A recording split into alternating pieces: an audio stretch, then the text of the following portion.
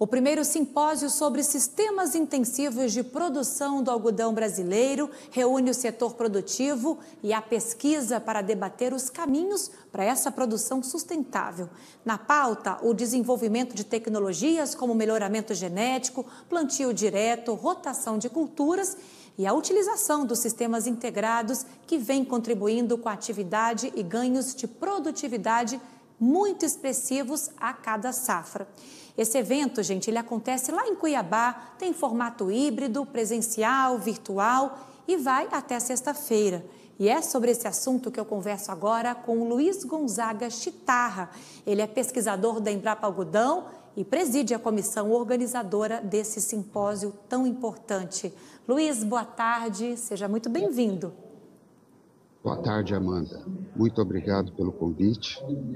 Estamos aqui à sua disposição para falar um pouco sobre o primeiro simpósio brasileiro é, Sistemas Intensivos. Tá certo?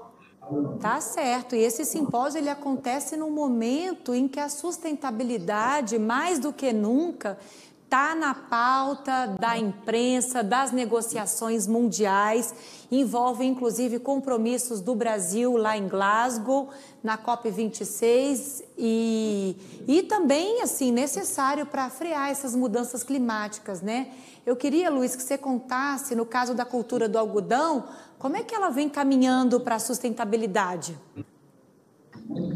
Oh, Amanda, é, esse simpósio ele tem o objetivo de mostrar, divulgar os avanços científicos e tecnológicos em sistemas intensivos de produção, onde o algodoeiro é parte do sistema. Isso não envolve somente a cultura do algodão, mas envolve as outras culturas, como a soja, o milho, e o feijão. Então, nossa grande preocupação hoje é sobre esses sistemas que estão sendo utilizados hoje pelos produtores. Porque, por exemplo, no Mato Grosso nós temos, por exemplo, aí é, uma sucessão de culturas, tá? Que após a soja ou é cultivado o algodão ou é cultivado o milho. Em muitas áreas nós temos uma sucessão isso significa soja, algodão, soja, algodão. E a nossa preocupação muito aí é em relação ao manejo de nematóides, o manejo de plantas daninhas, manejo de plantas de cobertura, pragas, doenças, pós-colheita, nesses sistemas intensivos que nós estamos tendo. Então, com as palestras, com as discussões que estão sendo realizadas nesse simpósio, eles estão mostrando realmente, os palestrantes, os avanços científicos e tecnológicos que estão tendo nesse sistema hoje em dia, porque isso daí é uma preocupação geral, não somente em relação aos pesquisadores, mas em relação aos produtores, consultores e todas, é, todas as pessoas que fazem parte é, da agricultura do Estado. Então, esse evento é muito importante e essas tecnologias estão sendo mostradas e discutidas com todos os participantes, tanto na forma presencial quanto na forma online.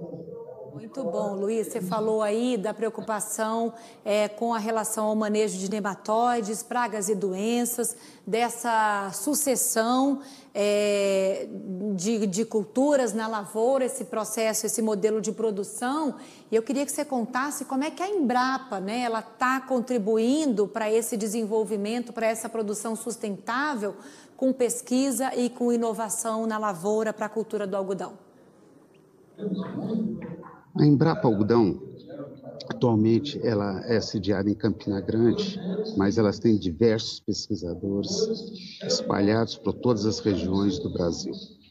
Então, nós temos uma equipe é, no Nordeste, nós temos uma equipe em Goiânia, nós temos uma equipe em Sinop, aqui no Mato Grosso, onde estão sendo desenvolvidas pesquisas para essa sustentabilidade da cultura do algodão, não somente no Mato Grosso, mas em todo o país. Então, nós temos pesquisadores nas diversas áreas. Nós temos pesquisadores na área de melhoramento genético, na área de fitopatologia, entomologia, na área de plantas daninhas. Enfim, todos os pesquisadores estão trabalhando para que o algodão seja sempre sustentável dentro do cenário nacional. Essas iniciativas, essas boas práticas, elas vêm sendo reconhecidas pelos nossos clientes, né, que compram esse algodão brasileiro, que valorizam inclusive a qualidade do algodão. Vem acontecendo esse aumento de safra sem, sem aumentar a área de plantio. E, e, inclusive com certificação de algodão responsável do Brasil. É, de que forma que isso abre mercado e esse reconhecimento nos ajuda a expandir a produção sustentável por aqui?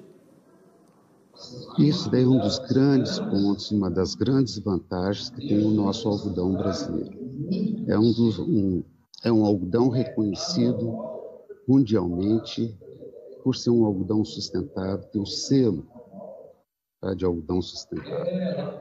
Isso daí é muito importante para nós, né, pesquisadores, para os produtores, que estão muito mais empenhados tá, sempre em produzir um algodão, uma fibra de qualidade que possa ser exportada. E isso daí hoje tem um rastreamento muito grande, desde a produção até a exportação é, do nosso algodão. Então, o objetivo é que até a roupa que for sair no exterior, você sabe exatamente de onde que ela vem. Isso daí é um rastreamento que pode ser também feito. Você pode saber até o local onde o algodão foi cultivado, qual cultivar e etc.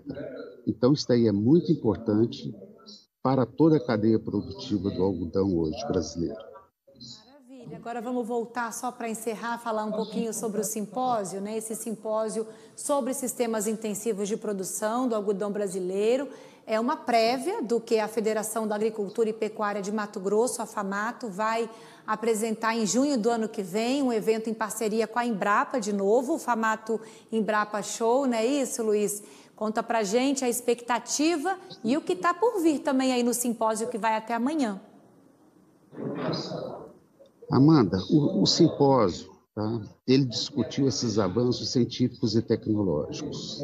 Então, nós tivemos de várias mesas redondas, no total foram sete, como eu te falei, que discutiu sobre manejo de nematóides, plantas daninhas, até os desafios da tecnologia de aplicação.